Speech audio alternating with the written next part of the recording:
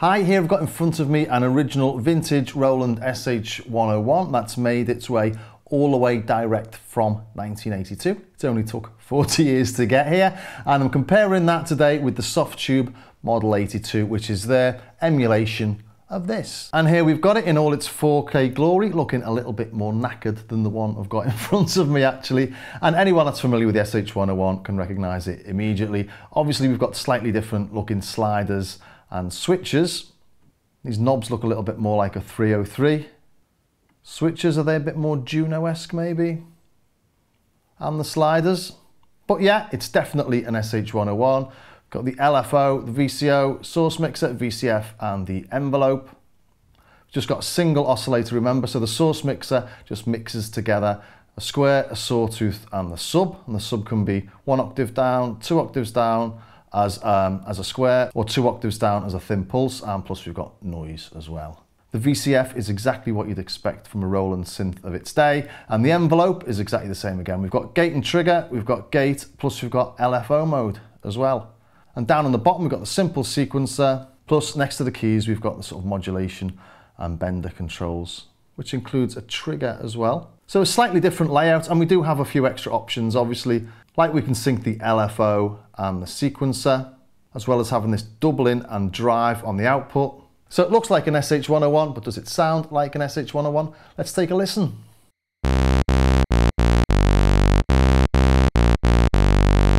So I'm just starting off with a simple sawtooth, like always.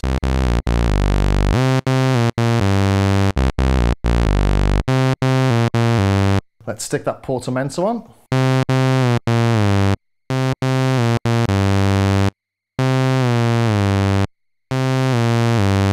Just to make them sound the same. But let's turn it off.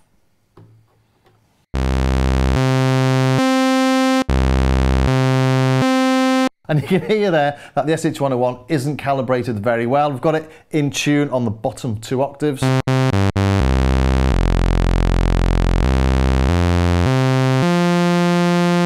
But as soon as we go a little bit higher, that C's out of tune. So anything above this G is out of tune, whereas obviously on the Softube one, and the Softube actually goes a little bit sharp on the high end, it's not spot on, which is quite interesting because it does give it that more analog feel, I suppose. Maybe you just can't get an SH101 that's perfect across that range.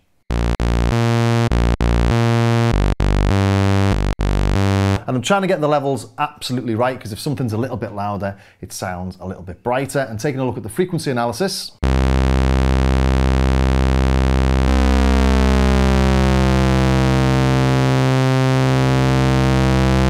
They're almost identical, aren't they?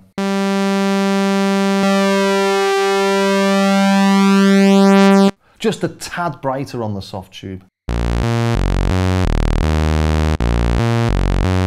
And actually I can't do that on the SH101, I can't play low enough. I've got it on the lowest range and the lowest note I can play is this F. Whereas of course with a Softube,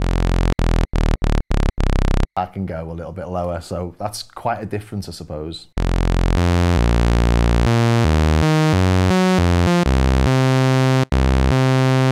but they sound to all intents and purposes the same. I am only playing a sawtooth after all, so let's do something a little bit more complex. So moving over to the pulse then. And you can hear there's a distinct difference there. You can hear there on the Softube that it doesn't sound like a perfect square. I haven't got my oscilloscope plugin working yet on the new Mac, so I can't look at it. But if you look at the frequency analysis,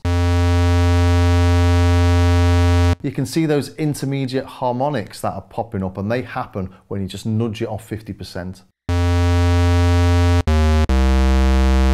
Whereas on the vintage one, I'm getting a full-on square of 50%. And you can tell that because you're not getting those intermediate harmonics. So let's put some in.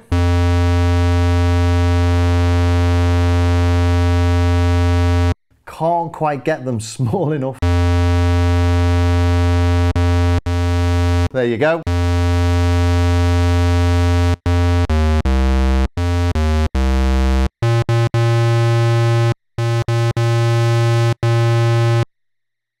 The volumes are slightly different, but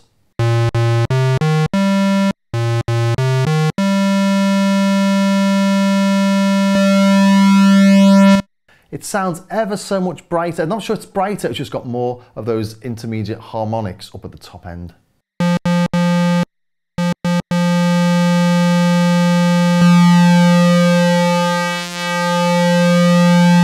Quite similar, but not as identical sounding as the Sawtooths.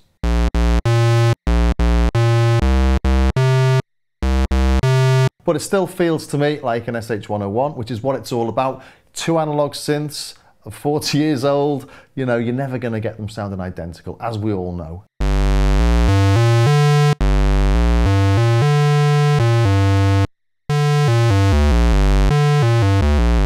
Mine sounds a little bit mellower, maybe. Maybe it just needs a little bit of a calibration. But when you start playing it,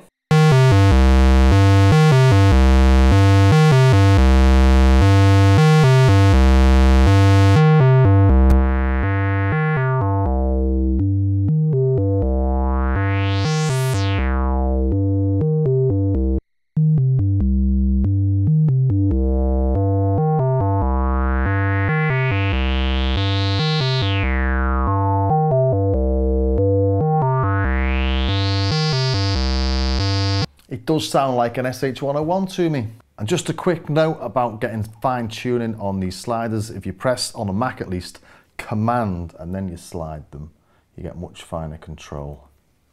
Let's turn that on again.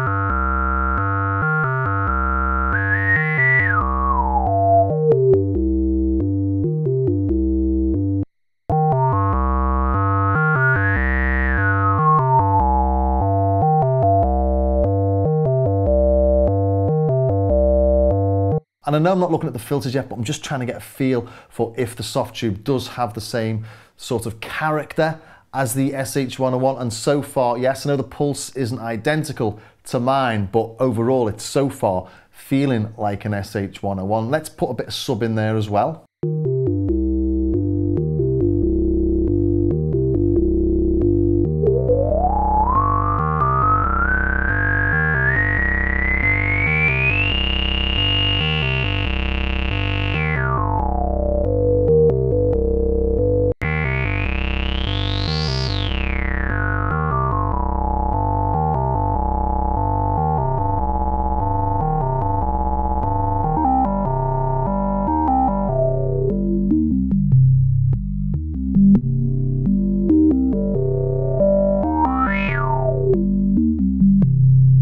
Definitely got the right feel. Let's knock those filters back up again. Sounds pretty similar to me.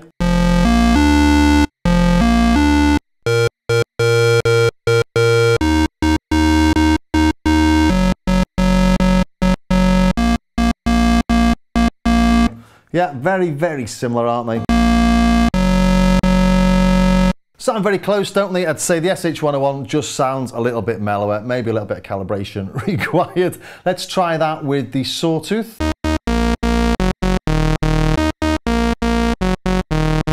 Definitely got the same character. Let's try that on the tighter or the smaller pulse.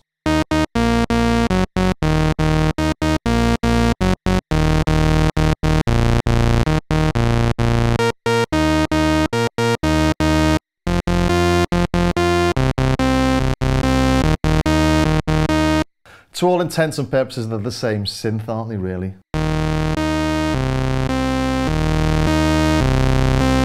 Let's bring the pulse in as well.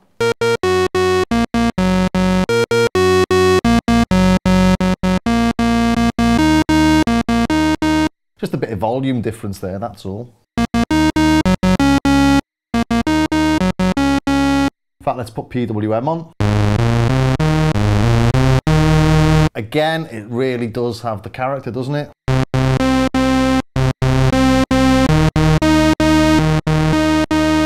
So okay, that's the oscillators done really. I just think there's a tiny difference there in that pulse and it might just be that whatever Softube was used needed a little bit of extra calibration or it's just 40 years in there or this more than likely it's this needs some calibration. But definitely got the right character. So let's move over to the filter. And I'm just going to start this off with some filter sweeps because the depth that you get from the SH101 filter is something else.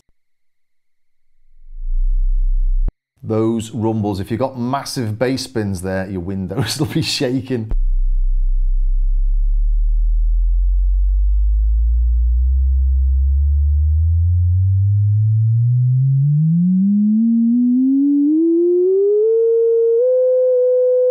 I'm just going to stop it there at 500 hertz and see what the what the software does.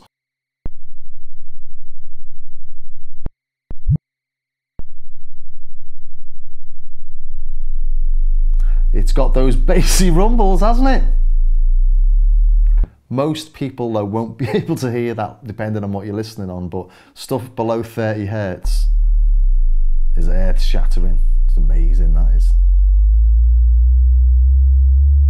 The step in there is the key step. It's got nothing to do with the software. In fact, I'll use mouse and command to get it smoother.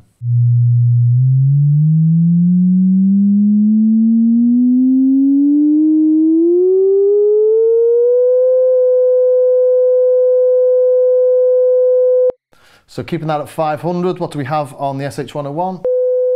Sounds the same, doesn't it?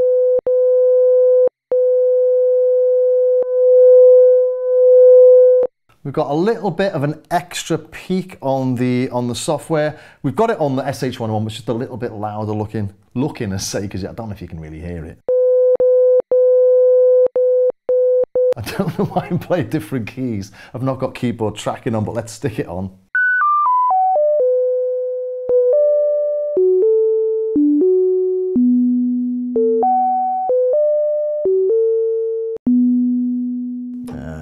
Go any lower? No.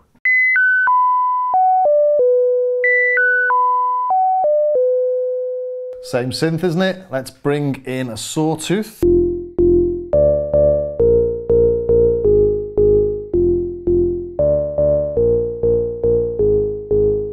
Really, really like that. Voodoo Ray is just one of those tracks that, don't know if that sounds identical to the track, I'm just doing it off the top of my head, but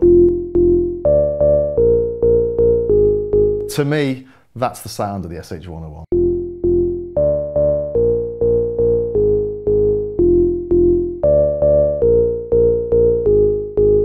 Oh, that's great that isn't it? Can't fault that at all. Let's just play a little bit more with the filter and whack the cutoff frequency up to its maximum, see what happens. Let's turn all these down. There you go, it stops around 15 on the real deal. So what's it do on the software?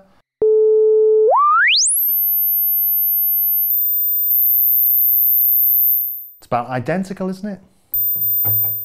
So yeah, filter gets a really big thumbs up from me. What else could we look at? Let's take a look at the sequencer. The sequencer on the SH101 is really super simple and Softube have emulated it identically. You've not got any bells and whistles here at all, just a straight off stick the notes in and play them back. So let's just try something.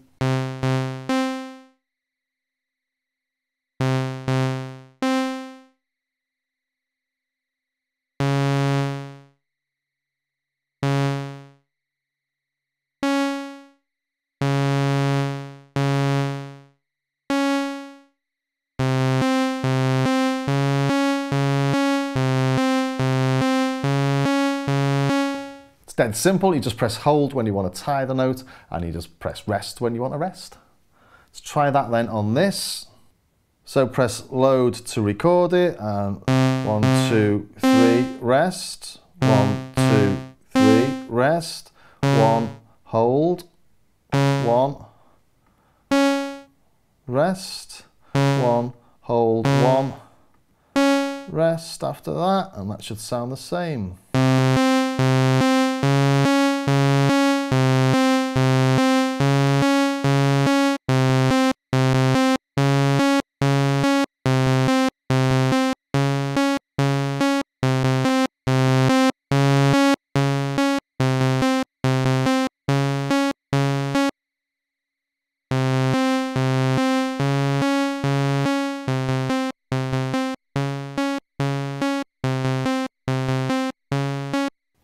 there you go. I said it was simple, didn't I? Uh, we can also sync this one to the sequencer. I can't do it while I'm recording because I'm actually recording.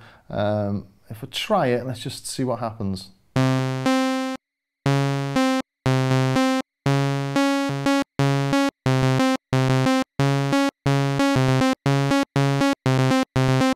Well, there you go. I can do it while I'm recording. Can't do that on the original, obviously. It was invented before MIDI. It does have CV and gate in and out, but it doesn't work brilliantly with the Eurorack, or at least this one doesn't. Uh, what else have we got on the on the software? We've got this thing called doubling. This is quite cool. Let's just put the sustain back up. Oh, and drive as well. But let's just look at the uh, doubling for now and basically it's adding a second oscillator and detuning it.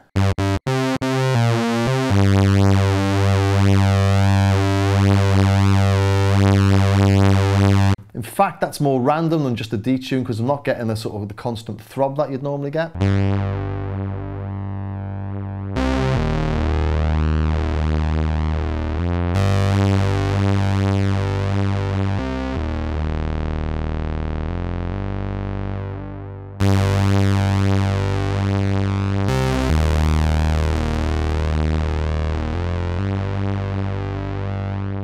Alright, but I actually prefer the sound of the SH101 just on its own. I'd do that with a little bit of PWM.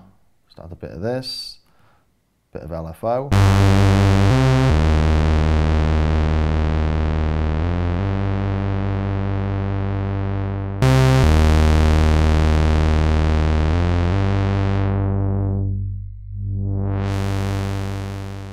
It really is behaving like my SH101. It does feel the same. It feels like the same instrument. One thing we've not looked at yet is the envelopes. I really like the way that on the sort of classic Junos that you get that really snappy envelope with the filter. Let's just have a little play on the original first. And that's pure Roland, isn't it?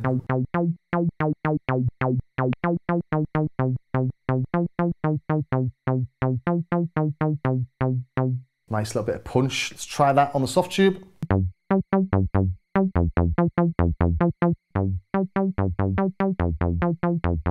Yeah, that's the same, isn't it? Another little thing we've got on the envelope on the SH101 that a lot of people don't realise is that it's got an LFO mode. So let's just play with it. Put it into LFO mode.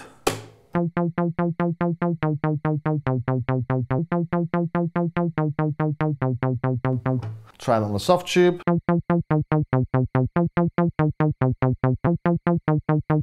Sound the same. So yeah, um, quite impressed by this all in all. Did we take a listen to the drive? I don't think we did. Let's just try that.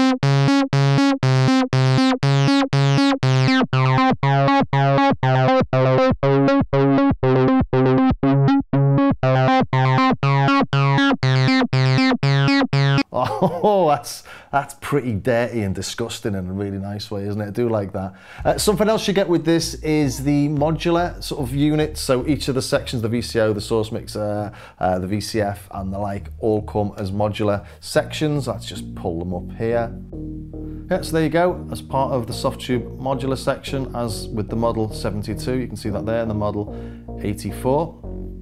So you can do all sorts of things with that. Obviously, I haven't got time to show in this. Just wanted to show in this how this sounds compared to the SH101. So what are my final thoughts? Well, I think this is another home run by Softube. It really does sound and feel like my SH101. Minor differences here and there, as you might expect with something that's 40 years old and has been uncalibrated for God knows how many years. I don't know the last time anyone ever looked at this. If anyone ever has actually, because I did buy this second hand, I didn't buy this when I was a baby. So uh, yeah, I hope you enjoyed that. And if you did, please subscribe, ring the bell and maybe join me over on my Patreon page, uh, where I've got all sorts of little bits and bobs that help you and also help support the channel. So I will see you next time.